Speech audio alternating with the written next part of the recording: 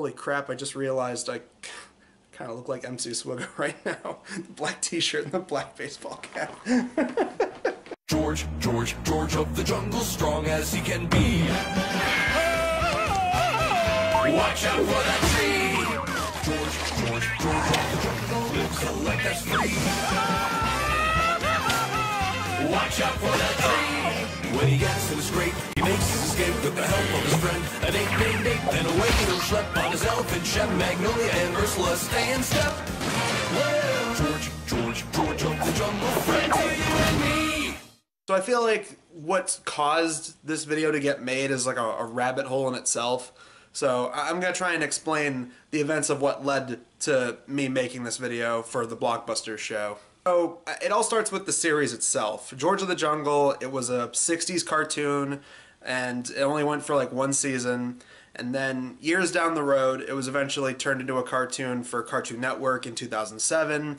Again, it only went for one season. It was at a very critical point in time where a lot of Cartoon Network's programming was starting to become a lot of flash animated stuff imported over from Canada with a lot of Canadian voice actors.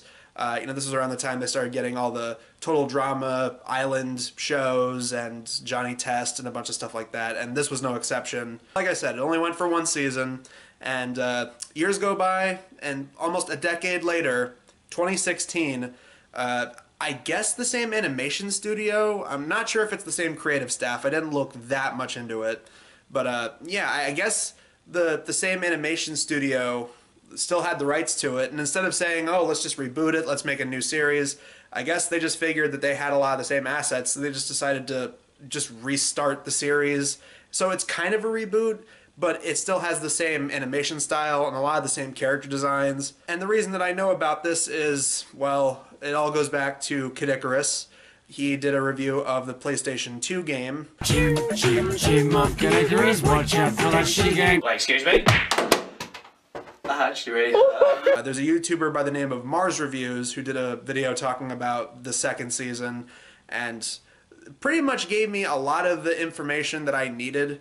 Um, I also tried skimming the, the Wikipedia page talking about this very briefly just to get kind of a, a hint of what to expect. This video isn't really me reviewing the show, it's really just me pointing out the points that interest me and the apparent changes that happen between the seasons, revival, or reboot, or whatever the fuck you want to classify this show as. Yeah, that, that that's pretty much the, the huge rabbit hole that led to this point. Started in 2007, series doesn't happen for a very long time till 2016, and then shortly after that, Caddicarus does a review, then Mars Reviews does a video, and then ultimately it comes dripping down to me. So yeah, I guess it's appropriate for blockbusters because uh, I did a review of George of the Jungle 2 on Blockbusters, and I thought it was a really terrible straight to video sequel to a movie that I really liked growing up. The second one I only saw once, and that's why I decided to do a review of it because it is so fucking awful. Um, and yeah, if you want, you can check out the review. Yeah, I figured it'd be kind of a, a spiritual successor to that video in a lot of ways. You talk about George of the Jungle 2, which is a crappy George of the Jungle live action movie, and now we get to talk about the crappy second season of, well, what was already not a very great George of the Jungle cartoon, anyways. I actually had to scramble to try and find footage of the first season of George of the Jungle. Um, and from what I've seen, there are a lot of differences between the first season and this season. But um, from the clips that I was able to find, the, the first season wasn't that great. It, it just seemed kind of mediocre at best. It's like maybe really little kids would like it.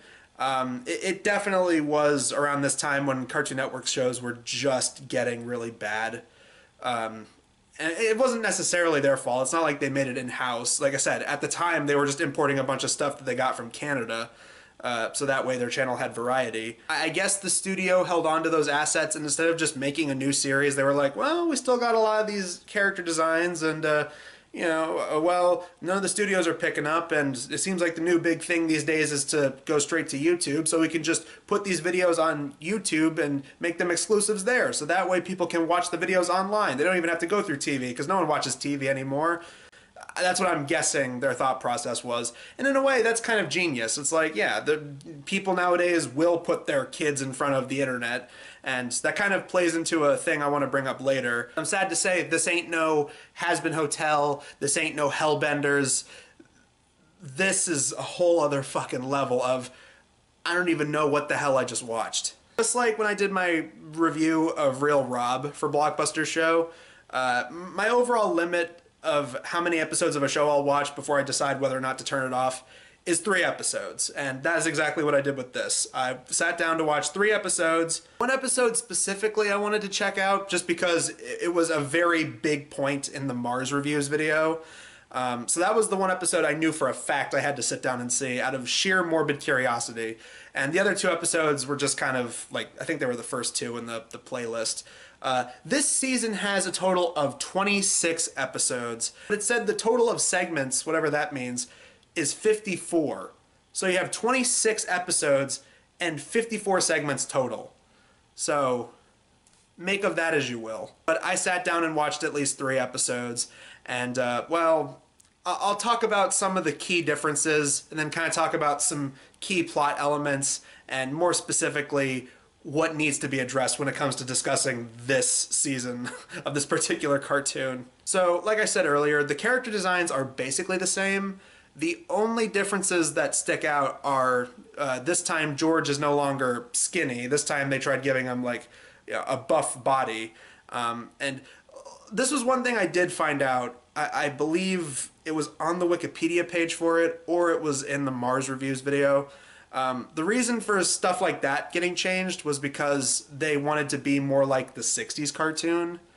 Uh, so, yeah, they made George buffer. And uh, another thing they changed was the, the two girls that are in the show, Magnolia and Ursula, they changed their names. So I guess it makes more sense with the George of the Jungle movie because Ursula was the name of the the woman from modern society that George fell in love with. Uh, so I guess they were trying to switch that around.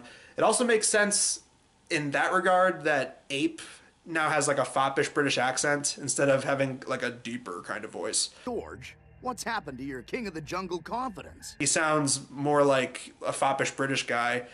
I guess I, maybe that was part of the '60s cartoon. I'm not entirely sure. I didn't watch the '60s cartoon at all, um, but I, I know for a fact that he has a British accent in the live-action movies because he was played by uh, John Cleese. So maybe they were trying to play up that aspect as well. Maybe that was part of the '60s cartoon. I guess. The great furried one. He's the Jerko Lemming's supreme being. They worship him. The other thing I want to point out with some of the character differences is in the first season, from the clips that I could find, um, Magnolia, the jungle girl, uh, in the first season, she had this like kind of Valley Girl, kind of Southern Belle voice. Like she just kind of talked like this. Oh man, that's just so exciting. And oh, Moxie. Uh, why don't we take him to my dad and see if he can do something uh, witch doctory? in this season, she acts like a stereotypical cave woman. Like she just, you know, always grunting, very animalistic, very primal. Um, you know, threatening to hurt people and you know, willing to to beat people up and and eat creatures live. That's something we'll get to much much later. I we have to address that. And it's just really weird finding like a compilation of clips from the first season and then watching episodes of this. It really is just a stark contrast. Like Ape is kind of the same, just different voice and I, a little bit of a different personality, I guess. Uh, but he's pretty much just voice of reason. And Ursula is, you know, the woman from modern civilization who has to try and adapt to their way of life. And George, uh, I mean, in the first season, he's mostly played as dumb and I mean they have some of his stupidity here, but it feels like they try to play up more of like the heroic side of it, like oh he's just a big, strong, buff idiot. Versus the first season, it just felt like he was just out and out an idiot. Another change is this guy I think was supposed to be the father of Ursula in the first season. He he was the scientist character. Uh, this time around though, he's the villain yeah, he, he's a villain because he likes science and he wants to destroy the jungle and he wants to like get rid of animals. Uh, and his name is Doctor Chicago, which is a spin on uh, Doctor Zhivago. And for some reason, he has a giant sentient tooth who looks up to him as a father figure to the point where he calls him dad. Chicago to Chicago. Dad? Ow! Dad? Ow! Dad? Ow! Dad! Ow! like what the fuck do you even say to that so the three episodes that i saw they follow a very basic format. They have the kind of oh the bad guy is up to no good. He has some kind of evil scheme. He's trying to you know hurt animals or, or get rid of animals you know ruin the jungle. And then george has to come in and save the day. This is my jungle now, fancy feathers. Jungle for animals, not bad doctor. it's not that it's the characters just getting into wacky shenanigans interacting with each other and ooh wacky banter and wacky antics between all of our main characters who kind of seem like they all don't like each other magnolia's attitude is really fucking bad and she is constantly just harassing yelling at and physically assaulting the other characters and it gets really uncomfortable First lesson, never say please. Got it. Thank you.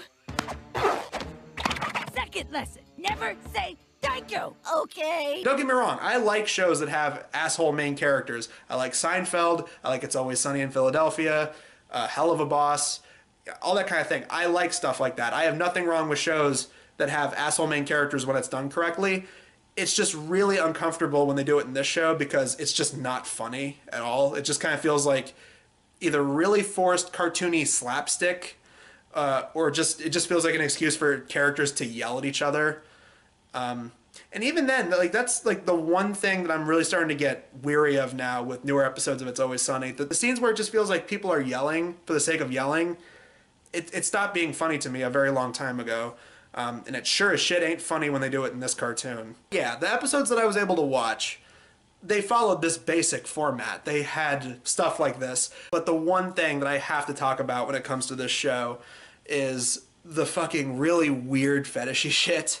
I mean, nowadays there are people who will specifically analyze cartoons to see if there are like hidden fetishy things put in there. You know, you have people acknowledging like furry fetishes or you know, uh, there's a Total Drama Island cartoon that has like fart fetishes. Um, and, you know, the, the the whole Dan Schneider scandal with all the weird foot fetish stuff that he would put in in his shows when he was part of Nickelodeon. Um, oh my God, does all of that apply to this fucking show? The, one of the big things that often pops up is characters getting eaten, and that's um, I think it's called like vore fetish. That pops up a lot in this series. Delicious they are.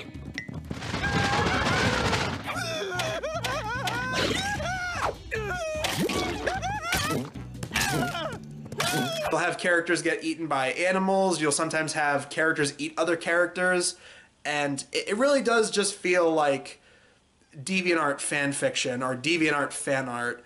Um, and that specifically applies to this one episode that I'll, I'll get to in a second. George wonder why he save it over and over when all George get in return is big bobos. Big bobos. Good question. Every time this show does anything, I can't help but just sit back with my arms crossed going, that's probably someone's fetish. Like, like there's that weird feeling in the back of your mind where you're like, I, don't know if they're doing that to be funny or if they're doing that to fuel some kind of weird fetish boner they have. Um, but there is this one episode that really sticks out from the rest. Okay, the plot is that Ursula comes across these bug creatures and she starts eating the bugs because I mean that's a thing that people do when they're out in, in out in the woods that or in in nature. Uh, bugs are apparently a good source of protein. If I was a crazy delicious bug, I wouldn't go around dancing on other people's tongues. Y'all doing it again. Sorry, sorry. You know you guys are better than peanuts, right? I'll go now. It was at that point I just sat there and thought, so one of our main characters just basically committed genocide by eating these bugs that are sentient and can talk. But like this is what I'm talking about when you when you have main characters that do unlikable things in this cartoon. Like in something like Sunny or Curb Your Enthusiasm or Seinfeld or something like that, it's usually played as like so over the top and petty and neurotic. That's what makes it funny. In this show, you're just like, you know, she just ate like half a colony of living creatures that she gauged full conversations with. That's kind of fucked up. Make me smart. Make me smart. You again? Get out of here! Sorry. Sorry. Just gonna take a few more of them for the road. Yeah, after she eats like half this colony of insects, she starts to develop super intelligence, which helps her with her nature documentation. But then she starts transforming into one of these things. She starts growing limbs. Uh, she starts losing hair. Starts growing antennae. And I was just sitting there like, okay, is that like is that a fetish? Transformation fetish? Is that a thing? I, it's really bad when you start thinking that while watching something. You, you just sit back going, someone probably got off to this. That that's the worst part of it. Um, and th- like the the worst part of the transformation thing is her ass grows big, and like there's a shot where she specifically looks down and sees how huge her ass is, and it really just looks like someone's weird Photoshop fan art on DeviantArt. It really does. But it's put in the show as an actual thing that happens.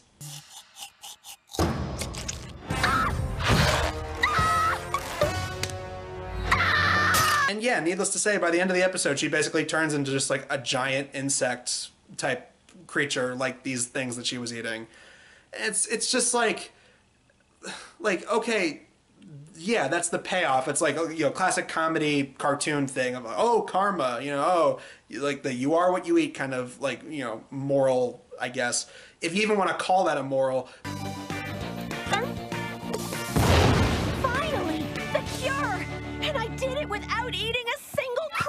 Bug! As science is my witness, I will never eat crunch bugs again! But it it just the way they went about it was so like unsubtly fetishy that it made it 10 times creepier to watch. And it was at that point when I started thinking, okay, did they just make this cartoon as a backdoor way to try and crowbar in all this weird vore fetishy type of thing? And this is what I was referencing earlier. This is the, the timeline of things seems really appropriate because 2016 that was at a time where we got all that weird Elsagate shit. That was when we got those people doing those weird videos aimed at children where they would dress up as like Spider Man and Elsa and Batman, Spider Man, Iron Man, uh, some other Disney princesses like Wolverine. That they would always have these weird suggestive themes. You'd have them eating chocolate and then they'd call the video like eating poop and stuff like that. You'd have like you know, highlighting people's feet. So like lots of foot fetish stuff in there. You'd have thumbnails of like something going up someone's butt. And all this like, uh, you know, people turning into mermaids and like all this weird fetishy shit that was being pushed onto children. Um, and this is allegedly why COPPA was created, and that's a whole other tangent right there. But yeah, all this weird stuff aimed at children with highly suggestive themes and really fetishy content. Um, and that was that was very prominent in like late 2015 and uh, especially a lot in 2016.